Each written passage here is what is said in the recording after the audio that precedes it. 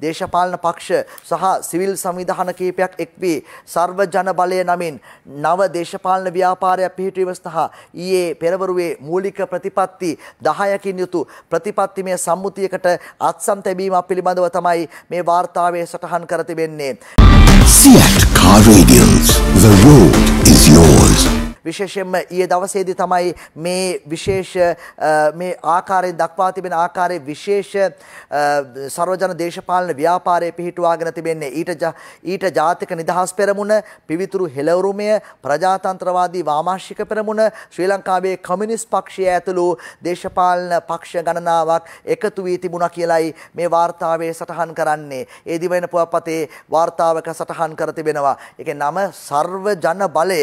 මේ මේ අලුත් සෙට් එකක් කියලා බැලුවේ බලනකොට මේ මේ 2019 සර්ව දිනවන්න හිටපු සෙට් එක තමයි මේ ඉන්නේ. එකම වෙනස 2019 සර් 20යි 24 සර්ව වයන්නේ විතරයි වෙනස.